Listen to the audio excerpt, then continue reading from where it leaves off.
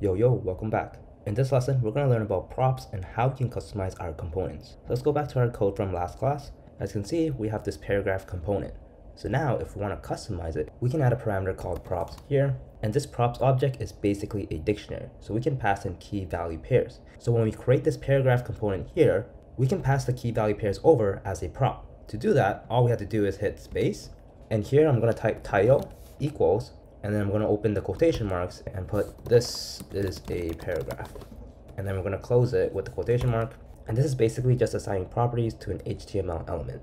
And now inside the body of this component we can use this props by simply opening the squiggle brackets which allows us to use JavaScript syntax. So now inside here we can do props dot title and now we can get rid of the text here. And now delete the other paragraphs for now. Hit save and open your terminal and then run npm start to start your development server. Whoops, my bad. Uh, I put a slash inside of a dot, so save this again. And now let's go back to your browser. In here you have your app, and if you scroll down, you're gonna see this is a paragraph. Now let's go back to our code. So we can add as many properties as we want. For example, let's add id equals, and if we want to assign a numerical value, we have to use the squiggle brackets, and then here we can put in one. And now let's copy and paste this two more times, and then let's put id 2 and 3 and let's change these paragraphs. So let's use this id so let's open the squiggle brackets and let's do props.id and let's put a colon after and then hit save. And now let's open our browser. And now if you scroll down you're going to see one this is a paragraph two hello world and three code with vincent. As you can see this is very powerful. We can create very reusable components and then we can customize the values inside it Creating those paragraphs wasn't cool at all. So now let's add Bootstrap to our application. And now let's copy over this link and let's go back to our code. So now let's head on over to index.html. Now let's add this head into the head of our HTML and hit save. And now let's go back to the app.js. And now instead of making a paragraph, let's make a card component. So let's do function card and then we give it props as a parameter and we open the squiggle brackets and then let's return. Now in Bootstrap, go to components and scroll down and let's go to the card. And this card looks pretty cool. So let's copy it. And now let's go back to our code.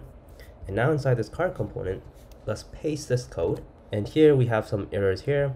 So the problem here is that this image tag isn't closed. So we can just close it by adding a slash here. And now the error should go away. So anywhere you see hard-coded values like here, card title, some quick example, go somewhere, etc. We can now replace it with props. So here, let's remove this and let's put squiggle bracket and let's put props dot title.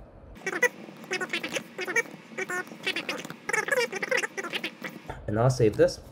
So if you right click in Visual Studio there's this format document. Just click that and it should automatically format everything. Cool so now scroll down and underneath the paragraph let's add the card component. So now we can do card and then let's close it. And then in here let's add the properties. Title equals let's do title here I have an image, so let me paste it and I'll save this and I'll go back to the browser and nothing's showing up. So let's right click and go to inspect. Let's go to console. And if you get any errors, feel free to dig around here. So basically what it's saying is if we have a style property, we have to create it as an object. So let's go back to our code.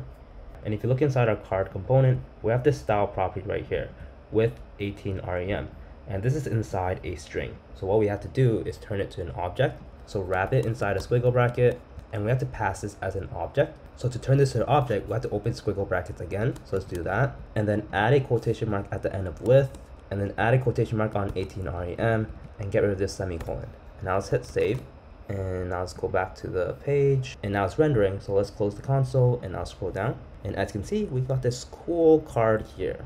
Now let's go back to the code and let's copy and paste this card two more times. Now let's hit save, and let's go back to the browser. And if you scroll down, you're gonna see three side hooks. And if you right click and go to inspect, and let's open this up. And here you see the div ID root, and let's open the app. And here you can see there's these three card elements. And let's open it up. Look at all this code that it has, but inside our code, we only have three simple lines like this. And that's basically the power of React. Feel free to try this out and create your own reusable components. And in the next class, we're going to learn about state.